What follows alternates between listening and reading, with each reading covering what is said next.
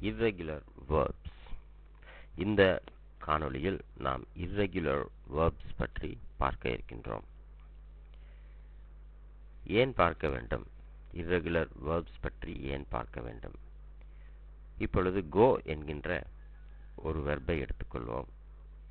இந்த go என்கின்ற இந்த வெர்பானது ஐ கோ என்று சிம்பிள் பிரசன்ட் டென்ஸில் வரும். இதனுடைய அர்த்தம் நான் போகிறேன். ஐ நான் கோ போகிறேன்.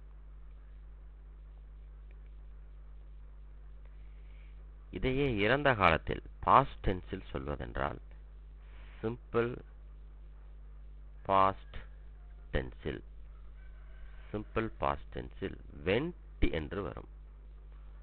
ஐ வெண்ட் இந்த கோ என்கின்ற இந்த வார்த்தைக்கும் வெண்ட் என்கின்ற இந்த வார்த்தைக்கும் துளியும் சம்பந்தம் இல்லை இதுவே தமிழ் என்று சொன்னால் போகிறேன் என்ற இடத்தில் போனேன் என்று வரும். போனேன் என்று வரும். இந்த இரண்டு எழுத்துக்களை நாம் புதிதாக மாற்றியுள்ளோம். கடந்த காலத்தை குறிக்கக்கூடிய வீதிகளாக சேர்த்துள்ளோம். ஆனால் ஆங்கிலத்தில் இந்த கோ என்ற வார்த்தைக்கும் இந்த வெண்ட் என்ற வார்த்தைக்கும் எல்லளவும் சம்பந்தமில்லாமல் ஸ்பெல்லிங் முற்று முழுக்க மாறியுள்ளது. இதுபோன்று பல வினைச்சொற்கள் உள்ளன ஆங்கிலத்தில்.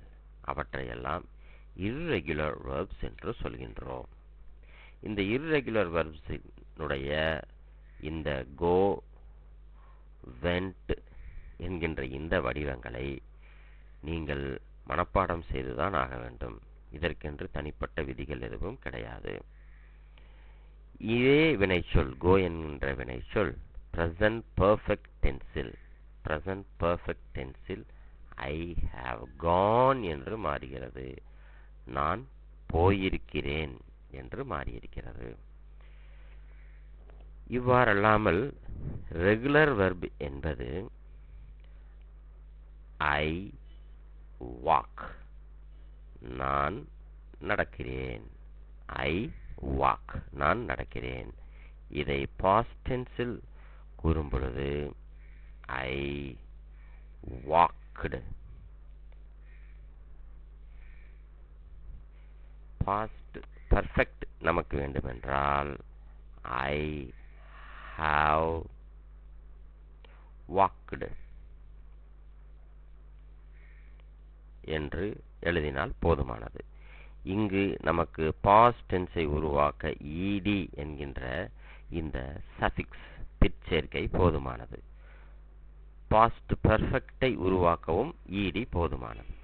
இது போன்ற ஆங்கில வெர்ப்ஸை ஆங்கில வினைச்சொற்களை ரெகுலர் வெர்ப் என்றும் இந்த கோ வெண்ட் கான் என்று மாறுகின்ற இது போன்ற வினைச்சொற்களை இர்ரெகுலர் வெர்ப் என்றும் நாம் கூறுகின்றோம்.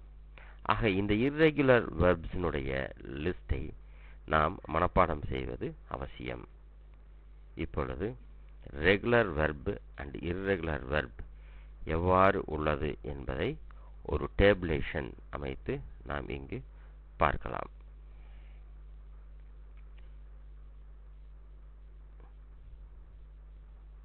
ஆங்கிலத்தை பொறுத்தவரையும் நமக்கு மூன்று வினை வடிவங்கள் தெரிய வேண்டும். அது verb 1 present வேர்ப் verb 1 இதை present வெர்ப் என்று சொல்கின்றோம். அல்லது இன்ஃபினிட்டிவ் verb என்று சொல்லலாம். அடுத்ததாக verb two past verb past verb என்று சொல்கின்றோம். இதற்கும் டென்ஸுக்கும் எந்த சம்பந்தமும் இல்லை. இங்கு நாம் வெர்பினுடைய வடிவங்களை மட்டுமே பார்க்கிறோம். அடுத்ததாக verb three past participle past participle என்று சொல்கிறோம். மூன்றாவது வடிவம். இது போக நான்காவது ஒரு வடிவம் ஒன்று உள்ளது. அதை வெர்பு ஃபோர் ப்ரெசன்ட் பார்ட்டிசிபிள் என்று சொல்வோம். ப்ரெசன்ட் participle அல்லது gerund form. Present participle அல்லது gerund ஃபார்ம் என்று அதை நாம் சொல்வோம். இந்த verb 4 பற்றி பின்னர் பார்க்கலாம். முதலில் verb 1 அடுத்தது verb 2 அடுத்ததாக verb 3 பற்றி பார்ப்போம். Present verbல் நாம் ஏற்கனவே பார்த்த அந்த go என்கின்ற உதாரணம் go. இந்த go past வெர்பாக வரும் பொழுது went என்று மாறுகின்றது. Past participle-ஆக மாறும் பொழுது gone என்று மாறுகின்றது. அடுத்ததாக இன்னும் ஒரு உதாரணம். cut. C u t cut என்பது verb 2விலும் cut என்றுதான் இருக்கும். verb 3யிலும் cut என்றுதான் இருக்கும். இதற்கென்று பிரத்யேக விதிகள் எதுவும் கிடையாது. எனவே நாம் இந்த வீடியோவில் காண உள்ள லிஸ்டை மாணவர்கள் திரும்ப திரும்ப போட்டு கேட்டு பார்த்து மனப்பாடம் செய்து கொள்வதை தவிர வேறு வழியில்லை. இவற்றை இர்ரெகுலர் வெர்ப் என்று அழைக்கிறோம். இது போன்று மாறி வருபவற்றை. அப்படியல்லாமல் வாக் இது பாஸ்ட் டென்ஸுக்கு போகும் பாஸ்ட் வெர்பாக மாறும் பொழுது வாக்டு இடி சேர்த்தப்படுகிறது வெர்பு த்ரீயிலும் வாக்டு என்று மாறும். இவ்வாறு இந்த ஈடி சேர்ந்து வரக்கூடியவற்றை நாம் ரெகுலர் வெர்ப் என்று சொல்கின்றோம். இவற்றிற்கான விதி ஈடி சேர்ப்பதுதான். இதை நீங்கள் அந்த விதிமுறையை புரிந்து கொண்டால் போதும். ஈடி சேர்க்க வேண்டும் என்ற விதிமுறையை புரிந்து கொண்டால் போதும். மனப்பாடம் செய்ய தேவையில்லை. ஆனால் இந்த இர்ரெகுலர் வெர்ப் list-ஐ மனப்பாடம் செய்தாக வேண்டும். இப்பொழுது இரகுலர் வெர்ப் லிஸ்டை பார்ப்பதற்கு முன்னதாக வெர்ப் ஃபோர் என்றால் என்ன என்று பார்த்து விடலாம். ப்ரெசன்ட் பார்ட்டிசிபிள் இந்த ப்ரெசன்ட் பார்ட்டிசிபிள் என்பது இந்த வெர்ப் ஒன்னுடன் ஐஎன்ஜி சேர்க்க கிடைப்பது. கோயிங் கட்டிங் ஐஎன்ஜி சேர்க்க கிடைப்பது. வாக்கிங் இதுவும் எளிமையான ஒரு விதிமுறை. அதாவது ஐஎன்ஜி சேர்க்க வேண்டும். Ing சேர்க்கும் பொழுது சில விதிமுறைகளை நாம் கவனிக்க வேண்டும். அதாவது கடைசியில் உள்ள e ஈயை நீக்கிவிட்டு ing சேர்த்த வேண்டும். கடைசி எழுத்துக்கு முந்தைய எழுத்து வவ்வலாக இருப்பின் இந்த கடைசி எழுத்தை இரண்டு முறை எழுதி அதாவது இன்னொரு முறை ஏற்கனவே டி உள்ளது இன்னொரு டீயை போட்டு ஐஎன்ஜி சேர்க்க வேண்டும். அப்படி அவ்வாறு பார்த்தால் கட்டிங் என்பது நமக்கு கிடைக்கும். வவல் எழுத்துக்கள் ஏ இ ஓ யு இது போன்ற சில விதிமுறைகள் மட்டுமே உள்ளன. இவற்றை நீங்கள் எளிமையாக புரிந்து கொள்ளலாம். புரிந்து கொள்வதற்கு கடினமாக உள்ள ஒரே விஷயம் இந்த இர்ரெகுலர் வர்ப்ஸ் என்பது. இப்பொழுது இவற்றினுடைய லிஸ்டை நாம் பார்ப்போம். இது ஒரு பெரிய லிஸ்ட் என்பதனால் இரண்டு அல்லது மூன்று பார்ட் வீடியோக்களாக இது வெளிவரும். ஒவ்வொன்றையும் மாணவர்கள் தனித்தனியாக பார்த்து மனப்பாடம் செய்து கொள்ள வேண்டும். வீடியோவை பார்ப்பதனால் மட்டுமே நீங்கள் கற்றுக்கொள்ள முடியாது. திரும்ப திரும்ப பயிற்சி செய்வதனால் மட்டும்தான் கற்றுக்கொள்ள முடியும்.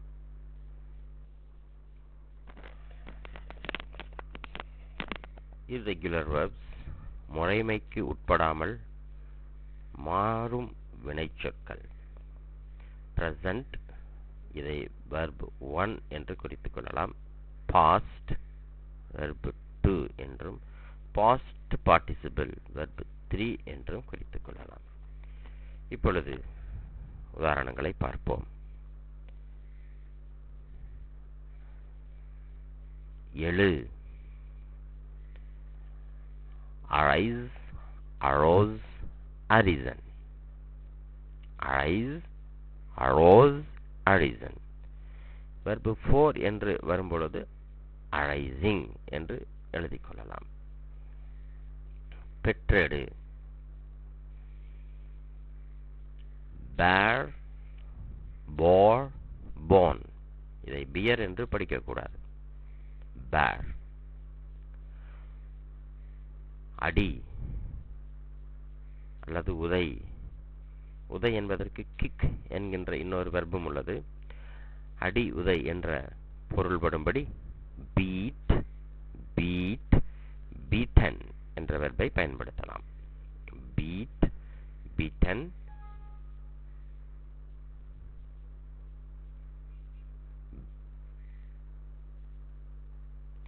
beat beat beaten அடுத்தது ஆகிறது. பிகம் பிகேம் பிகம் begin ஆரம்பி begin began begun. இந்த வெர்ப் லிஸ்டை நாம் படிப்பதுடன் நிற்காமல் வாக்கியத்தில் அமைத்து பார்க்க வேண்டும். எங்கு வாக்கியத்தில் அமைக்க வேண்டும் என்று சொன்னால் டென்சஸ் பற்றி படிக்கும் பொழுது அங்கு உதாரண வாக்கியங்களை இந்த வெர்ப்ஸ் கொண்டு அமைத்து மாணவர்கள் பிராக்டிஸ் செய்ய வேண்டும். Behold. Behold. Verb 1 verb 2 verb 3 present verb past verb past participle verb. Behold. Par. Behold beheld beheld. Bend. வளை bend bent bent bind கட்டு bind bound bound bite கடி bite bit bitten blow ஊது blow ஊது blew blown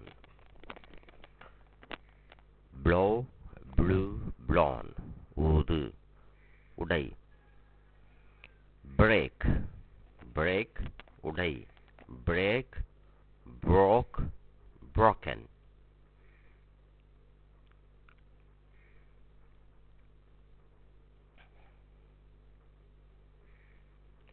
breed bread bread bread என்பதை இன்னொரு ஆங்கில சொல்லான பிஆர்இடி bread உடன் மாணவர்கள் குழப்பிக் கொள்ளக்கூடாது. அது நவுன் ரொட்டி. பிரெட் என்பது நவுன் இரண்டும் ஒரே உச்சரிப்பு தான். Breed bred bread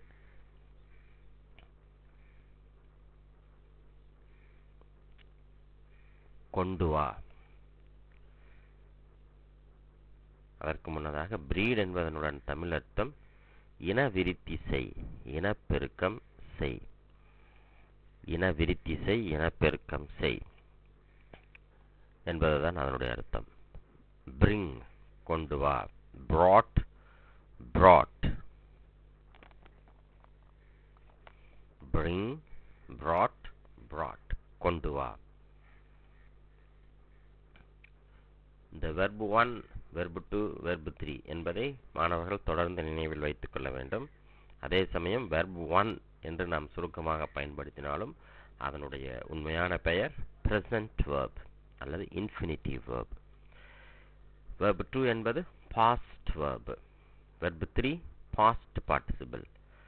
Verb four என்பது எளிமையான ஒன்று. இதனுடன் ing சேர்க்க வேண்டும். Bringing. ஏற்கனவே இங்கு ஒரு ing உள்ளது. கூடுதலாக இன்னொரு ஐஎன்ஜி சேர்க்க வேண்டும். அடுத்த வேர்ப் கட்டு வீடு கட்டு. அதுபோன்ற பொருளில் கட்டு பில்ட் கயிறு கொண்டு கட்டு என்பது இதன் பொருள் அல்ல. பில்ட் வீடு கட்டு. பில்ட் பில்ட் பில்ட் கடைசி எழுத்தான டி டி மாறியுள்ளது. பில்ட் வீடு கட்டு. இதை கொண்டு வரக்கூடிய நவுன் பில்டிங் கட்டிடம். பதினைந்தாவது வேர்ப் தீப்பற்றி எரி தீ வைத்து எரி என்ற பொருளும் இதை நாம் எடுத்துக்கொள்ளலாம் பேர்ன் பேர்ன்ட் பேர்ன்ட் விலைக்கு வாங்கு பை விலைக்கு வாங்கு. பை பாட் பாட் மாணவர்கள் அங்கங்கே இந்த வீடியோவை நிறுத்தி உங்களுக்கு தேவையான குறிப்புகளை எடுத்துக்கொள்ள வேண்டும். இந்த லிஸ்ட்டை அப்படியே வரிசையாக எழுதி கொள்வது நல்லது. பை பாட் பாட் பிடி கேட்ச் கேட்ச் என்றால் பிடி என்று அர்த்தம். கிரிக்கெட் விளையாடும் போது கேட்ச் பிடி என்று சொல்வோம். அங்கு கேட்ச் என்பது நவுனாகவும் உள்ளது. பிடி என்ற அடுத்த சொல் வெர்பாகவும் உள்ளது. பார்ட்ஸ் ஆஃப் ஸ்பீச்சில் நாம் பார்த்துள்ளோம். ஒரு பார்ட்ஸ் ஆஃப் ஸ்பீச்சை வேறொரு பார்ட்ஸ் ஆஃப் ஸ்பீச்சாகவும் பயன்படுத்தலாம் என்று. கிரிக்கெட்டிலே மட்டையாளர் அடிக்கக்கூடிய பேட்ஸ்மேன் அடிக்கக்கூடிய பந்து நேராக தரையில் படாமல் ஃபீல்டு செய்பவரின் கையில் பிடிபட்டால் அந்த நிகழ்வுக்கு பெயர் கேட்ச் கேட்ச் அவுட் என்று சொல்கின்றோம். எனவே அந்த முறைமையில் நாம் அந்த கிரிக்கெட் விளையாட்டின் போது கேட்ச் பிடி என்று சொல்கின்றோம். பிடி பிடி என்று அர்த்தம் கொள்ள முடியாது. அந்த பிடித்தல் முறைக்கு பெயர் கேட்ச் பிடிக்கின்ற செயலுக்கும் பெயர் கேட்ச் இதனுடைய verb two caught verb three caught அடுத்ததாக வா. கம் கேம் கேம் என்று படிக்கக்கூடாது. கேம் கம் அடுத்த வினைச்சொல் சூஸ் ஜூஸ் என்று சொன்னால் பொருள் மாறிவிடும். சூஸ் சவுண்டு லாஸ்ட் எஸ்ஸில் மட்டும்தான் வர வேண்டும். முதல் இச்சில் இஜ் சவுண்டு வந்து விடக்கூடாது ஜூஸ் என்று வந்து விடக்கூடாது choose chose chosen choose chose chosen தேர்ந்தெடு. Choose any following என்று நாம் வினாத்தாட்களில் படித்திருப்போம். Choose. அடுத்ததாக படருதல் படர் கொடிகளை கிரீப்பர் என்றுதான் நாம் ஆங்கிலத்திலே அழைப்போம். அதனுடைய வினைச்சொல் கிரீப் படரு படருதல் அல்ல இங்கு தவறாக டைப் செய்யப்பட்டுள்ளது. படரு நிலத்தில் படர்ந்து செல் என்று அர்த்தம். Creep crept crept. Creep crept crept.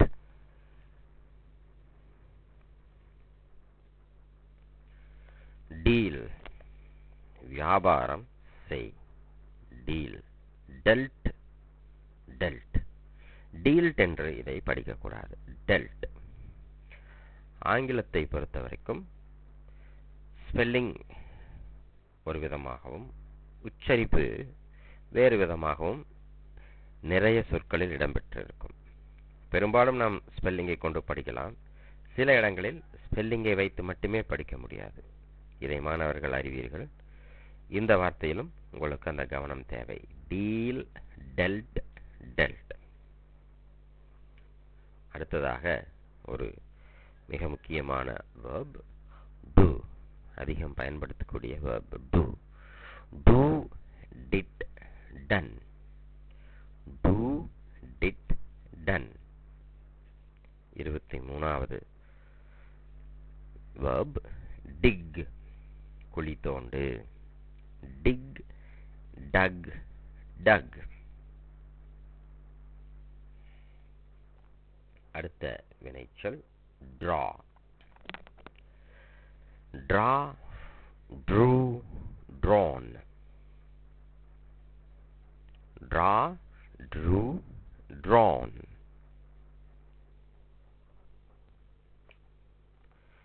இந்த drawn என்பது பிரிட்டிஷ் இங்கிலீஷில் drawn என்றும் அமெரிக்கன் இங்கிலீஷில் drawn என்றும் உச்சரிக்கப்படுகின்றது. நாம் எவ்வாறு உச்சரிக்க வேண்டும்? உங்களுக்கு எது வசதியாக படுகிறது படுகின்றதோ அப்படி உச்சரியுங்கள். ஏனென்று சொன்னால் இங்கிலீஷில் ப்ரொனன்சியேஷன் என்பது உச்சரிப்பு என்பது வெரி பர்ஃபெக்டாக இருக்கும் என்று கூற முடியாது. காரணம் அதில் உள்ள வெரைட்டிஸ் அதாவது உலகத்திலே American English British English Australian English England New Zealand English என்றுள்ளது. அந்த வெரைட்டியில் இந்தியன் இங்கிலீஷ் என்பதும் ஒரு வகை உள்ளது. எதிர்காலத்தில் அது ஒரு டயலக்டாகவே வரும் வாய்ப்பு உள்ளது. எனவே உச்சரிப்பு என்பது நாம் ஓரளவுக்கு பிரிட்டிஷ் உச்சரிப்பை நெருங்கி செல்லலாம் முடிந்த அளவுக்கு பயன்படுத்தலாம். தெரியாவிட்டால் நமக்கு எவ்வாறு உச்சரிக்க தோன்றுகின்றதோ அது போன்று உச்சரிக்கலாம். அதற்காக சில வார்த்தைகளில் எஸ் சவுண்டு வரக்கூடிய இடத்தில் இஸ் சவுண்டு போட்டு உச்சரித்தால் பொருள் மாறிவிடும். அதையும் கவனத்தில் வைத்துக் கொள்ள வேண்டும். பொருள் மாறாத வகையில் ஓரளவு நெருக்கமாக உச்சரிக்க வேண்டும். அடுத்ததாக இருபத்தி ஐந்தாவது வேர்ப் ட்ரிங்க் குடி.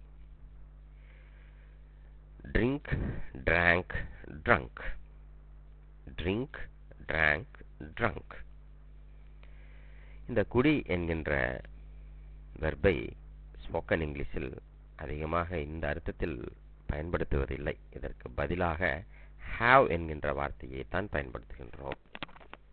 ஹெச்ஏ ஏ விஇ ஹாவ் என்கின்ற வார்த்தையை தான் பெரும்பாலும் ஸ்போக்கன் இங்கிலீஷில் பயன்படுத்துகிறார்கள். Let's have a cup tea என்றால் ஒரு கப் டீ குடிக்கலாம் என்று அர்த்தம். ஹாவ் அ ட்ரிங்க் அப்படி என்று சொன்னால் இந்த பானத்தை குடியுங்கள். ஹாவ் திஸ் ட்ரிங்க் என்று அர்த்தம். Shall you have a tea நீங்கள் ஒரு டீ குடிக்கிறீர்களா? என்று அர்த்தம். ஷால் அல்லது வில் எதை வேண்டுமானாலும் பயன்படுத்தலாம். வில் என்பதை பயன்படுத்தலாம். கேன் என்பதை பயன்படுத்தலாம். வுட் என்பதை பயன்படுத்தலாம். ஒருவருடைய உணவு விருப்பத்தை கேட்க பெரும்பாலும் வுட் என்பதை நாம் பயன்படுத்துவோம். வுட் யூ லைக் என்று பயன்படுத்துவோம். சரி அதாவது ட்ரிங்க் என்பதற்கு பதிலாக ஹாவ் எடுத்துக்கொள்ளுங்கள் சாப்பிடுங்கள் குடியுங்கள் என்கின்ற அர்த்தத்தில் பெரும்பாலும் பயன்படுத்தப்படுகின்றது என்பதைத்தான் என்பதை சொல்வதற்காகத்தான் இந்த விளக்கம் கொடுக்கப்பட்டுள்ளது. இங்கு நாம் கான்சென்ட்ரேட் செய்ய வேண்டியது verb one verb two verb three என்பதுதான். ஒரு சில விஷயங்கள் கூடுதலாக கூறப்பட்டாலும் அவற்றை மாணவர்கள் கேட்டுவிட்டு மெயின் ஆப்ஜெக்டிவ் எதுவோ அதை நாம் செய்ய வேண்டும். வேறு வேறு திசையை நோக்கி செல்லக்கூடாது. அடுத்து மேலும் ஒரு தகவல். இந்த வெர்புடன் இந்த முதல் வெர்பு ஒன் அனைத்துடனும் லெட்ஸ் சேர்த்து எவ்வாறு மீனிங் பார்ப்பது? இது ரொம்ப முக்கியம். உதாரணமாக let's do let us do என்பதை சுருக்கமாக லெட்ஸ் டூ என்று சொல்கிறோம். செய்வோம் என்று அர்த்தம். லெட்ஸ் டூ என்றால் செய்வோம். லெட்ஸ் கோ போவோம். லெட்ஸ் மூவ் நகருவோம். லெட்ஸ் டிக் தோண்டுவோம். இந்த அனைத்து வெர்ப் ஒன்றுகளுடன் மாணவர்கள் இந்த லெட்ஸை இணைத்து பொருள் பார்த்துக் கொள்ளுங்கள். அது தனிப்பயிற்சியாக செய்யுங்கள். நான் ஏற்கனவே கூறியது போல இங்கு நம்ம நம்முடைய main aim verb one verb two verb three இந்த கூடுதல் தகவல்களை நீங்கள் மனதில் நிறுத்திக் கொண்டு வேறு இடத்தில் பயிற்சி செய்து கொள்ளலாம். லெட்ஸ் என்பதை வெர்ப் ஒன்னுடன் நாம் இவ்வாறு பயன்படுத்தலாம். இப்பொழுது இருபத்தி ஐந்து irregular verbs இங்கு நாம் இந்த வீடியோவில் பார்த்துள்ளோம். மாணவர்கள் இதனை பாடக்குறிப்பேட்டில் குறிப்பெடுத்து கொண்டு மீண்டும் மீண்டும் பயிற்சி செய்து இருவராகவோ அல்லது குழுக்களாகவோ உட்கார்ந்து மனப்பாடம் செய்து ஒப்பித்து பார்த்து இதை மனப்பாடம் செய்து கொள்ளுங்கள். இது போன்று ஏறத்தாழ ஒரு நூற்றி எட்டு இரகுலர் வர்ப்ஸ் நமது வீடியோவில் வழங்கப்பட உள்ளது. அடுத்த வீடியோவில் இருபத்தி ஆறு முதல் ஐம்பது வரையிலான irregular வெர்ப்ஸை பார்க்கலாம்.